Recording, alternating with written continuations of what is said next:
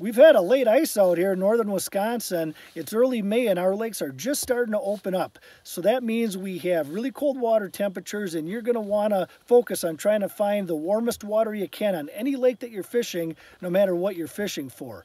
For crappies, I like to look at shallow, dark bottom bays, preferably with a boggy shoreline. Those tend to warm up a little bit quicker and even a half a degree can make a big difference. Eight feet of water tends to be a good starting point for pre-spawn crappies on most lakes, and I like to fish them with a small jig head and plastic uh, suspended underneath a slip bobber or a float.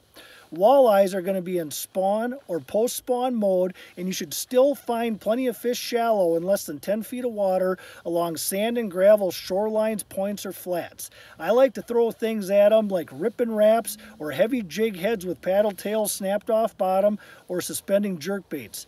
Smallmouth bass are going to be in pre-spawn mode, usually hanging out in that first drop-off, uh, usually around 10 feet of water next to spawning areas.